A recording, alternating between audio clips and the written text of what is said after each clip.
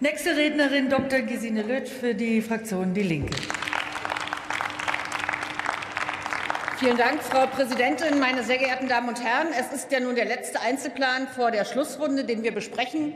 Und darum finde ich es auch richtig, diesen Einzelplan in Zusammenhang zu stellen zu anderen Einzelplänen. Und ich erkenne da eine klare Botschaft. Das Verteidigungsministerium bekommt 1,5 Milliarden Euro mehr. Das Budget für Bildung, Wissenschaft und Forschung stagniert. Es beträgt weniger als die Hälfte des Militärhaushaltes. Und ich finde, dieser Weg führt zu einer weiteren Militarisierung aller Konflikte. Wir, die Linke, wir wollen die Verhältnisse umdrehen. Weniger Geld für Kriege, mehr Geld für die Bildung unserer Kinder, mehr Geld für das lebenslange Lernen. Ich will auch an ein Versprechen der Kanzlerin erinnern. Sie hat im Jahr 2008 gemeinsam mit den Ministerpräsidenten der Länder versprochen, dass 10 Prozent des Bruttoinlandsproduktes für Bildung und Forschung von Bund und Ländern einzusetzen sind. Jetzt sind es 9 Prozent. Aber dieses eine Prozent entspricht immerhin 31,3 Milliarden Euro. Und ich finde, dieses Geld könnten wir an Kitas, Schulen und Universitäten dringend gebrauchen, meine Damen und Herren.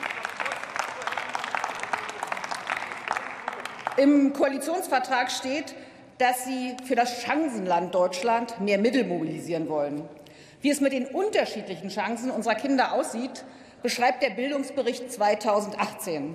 Die Bildungsherkunft ist nach wie vor entscheidend für die Beteiligung an der Hochschulbildung. Von den Jugendlichen aus der größten Bevölkerungsgruppe, den Familien, in denen die Eltern über eine berufliche Ausbildung verfügen, gelangt nur ein Viertel der Jugendlichen an eine Hochschule. Bei Jugendlichen aus Familien, in denen ein Elternteil oder beide einen Hochschulabschluss haben, liegt dieser Anteil mehr als dreimal so hoch bei 79 Prozent. Ich sage, gerecht geht anders, meine Damen und Herren.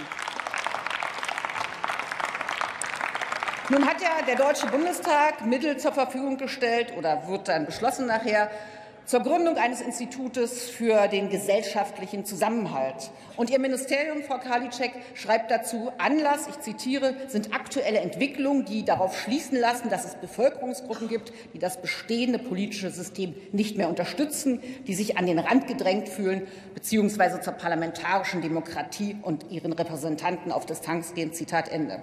Ich sage Ihnen, die Zahlen zur sozialen Spaltung, die können wir doch aus dem Bildungsbericht deutlich ablesen. Die Menschen fühlen sich nicht an den Rand gedrängt, sie sind an den Rand gedrängt, und hier ist Veränderung dringend notwendig.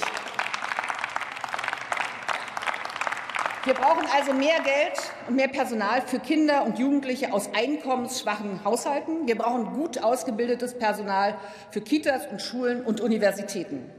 Und damit wir diese Probleme lösen können, darf die Bundesregierung nicht weiter auf der Investitionsbremse stehen. Der Rückgang der öffentlichen Investitionen ist in Anbetracht der beschriebenen Probleme ein echter Akt der Zukunftsverweigerung, meine Damen und Herren. Frau Ministerin, Sie haben neulich der FAZ ein Interview gegeben, und daraus will ich ein kurzes Zitat bringen. Sie sagen dort, ich zitiere aus dem Land der Dichter und Denker, muss jetzt vehementer als zuletzt ein Land der Tüftler und Bastler werden. Das, finde ich, ist freundlich gesagt wirklich eine Verniedlichung des Problems. Schauen Sie sich doch einmal Schauen Sie sich doch einmal die Arbeitsbedingungen der Wissenschaftlerinnen und Wissenschaftler an. Befristete Verträge, Teilzeitstellen, unsichere Zukunft. Erst gestern zum Beispiel berichtete die ARD über die Situation in der Krebsforschung. Junge Wissenschaftlerinnen und Wissenschaftler wissen häufig zu Weihnachten nicht, ob im Januar ihr Arbeitsvertrag noch weiterläuft. Und ich finde, so kann man doch mit solchen Menschen nicht umgehen. Und so wurde gewarnt, es ist zu befürchten, dass auf diesem wichtigen Gebiet unserem Land die Fachkräfte ausgehen, und das, obwohl jährlich immer mehr Menschen an Krebs erkranken. Meine Damen und Herren, wir können weder auf Dichter noch Denker, auf Wissenschaftlerinnen und Wissenschaftler verzichten. Wir brauchen alle. Und dazu brauchen wir endlich eine Bildungspolitik, die allen Kindern und Jugendlichen, aber auch den Erwachsenen während ihres Berufslebens echte Chancen bietet. Und dafür bietet der Haushalt zu wenig. Ich setze darauf, dass wir im Haushalt 2019 starke Korrektur vornehmen. Vielen Dank.